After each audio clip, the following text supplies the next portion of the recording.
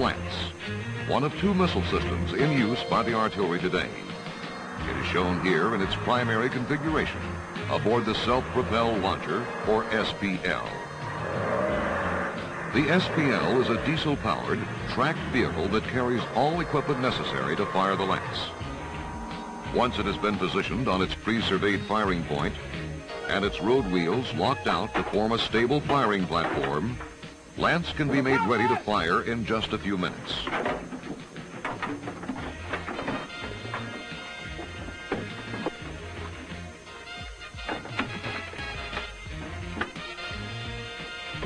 Operational since 1972, Lance is designed for general support to the Corps commanders.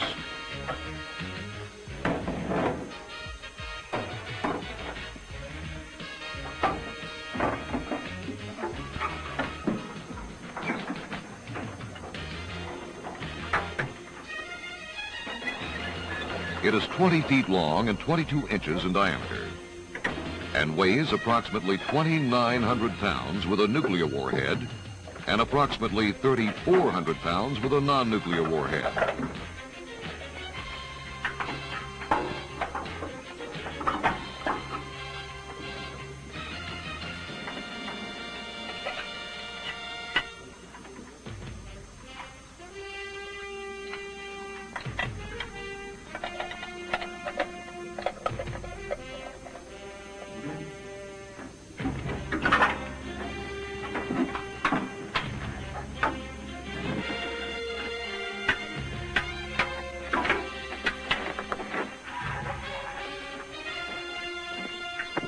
The main assemblage contains the liquid propellant tanks, the rocket engine, and the gyro-stabilized inertial guidance system.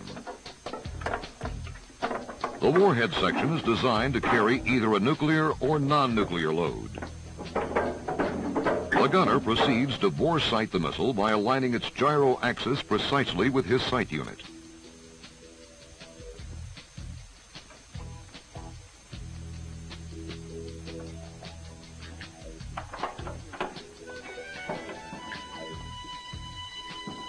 Then the warhead parameters are inserted. And the missile elevated to one of two firing elevations. Elevate.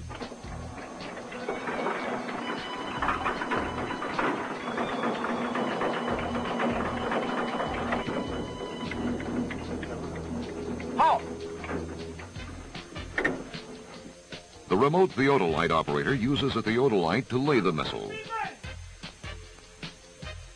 Deflection 6399. Deflection 6399. Check. He makes sure that the missile is aligned to the firing azimuth.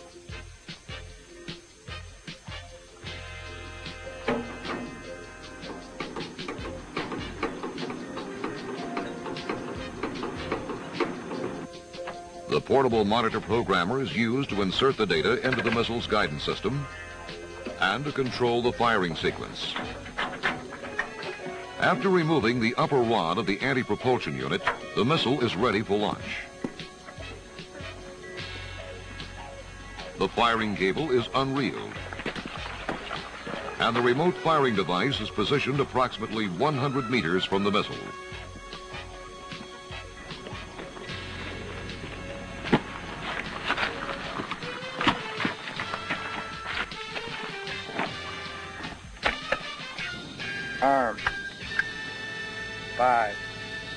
At the proper time, Two. Lance is fired. One.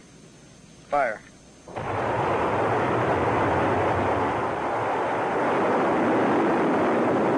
Once the missile has reached the necessary velocity, the larger booster engine shuts down while a small sustainer engine continues to burn. During flight, the guidance system corrects for variations in air density and winds and keeps the missile on course to the target. This might be a large troop concentration, an airfield, a communications complex, an enemy missile site, or some other critical military installation. The non-nuclear warhead carries a cargo of 836 bomblets, which are released above the ground and explode on impact. Designed to work in conjunction with the SPL is the loader transporter, another configuration of the same tracked vehicle. It can carry two complete Lance missiles, and by use of its fixed length boom, can transfer the missile to the launchers. Both the SPL and the loader transporter are highly mobile vehicles.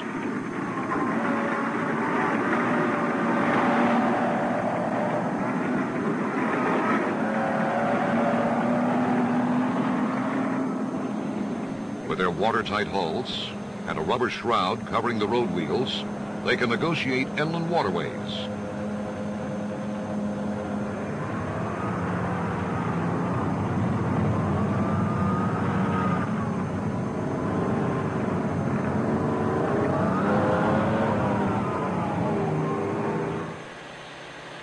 And they are air transportable.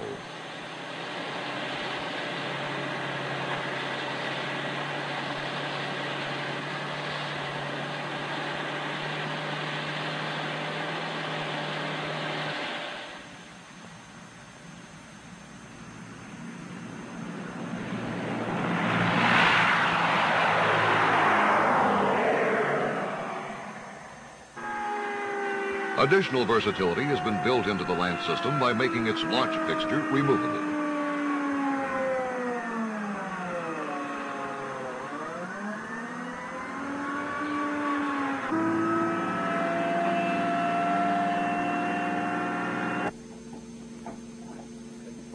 Within minutes, the launch fixture can be converted by attaching wheels, jacks, and tow bar from the mobility kit to produce the Launcher Zero Length, or LZL.